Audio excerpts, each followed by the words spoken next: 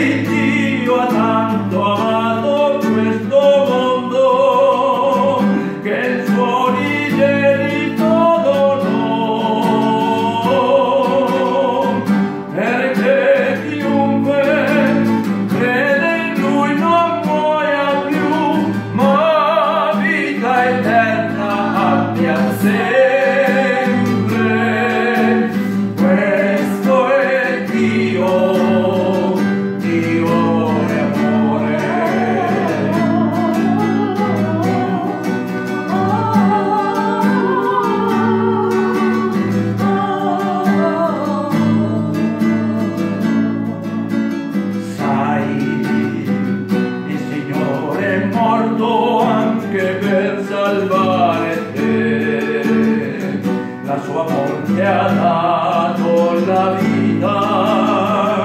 perché il Dio ha tanto amato questo mondo che il suo unigenito donò perché chiunque crede in lui non muoia più ma vita eterna abbia sempre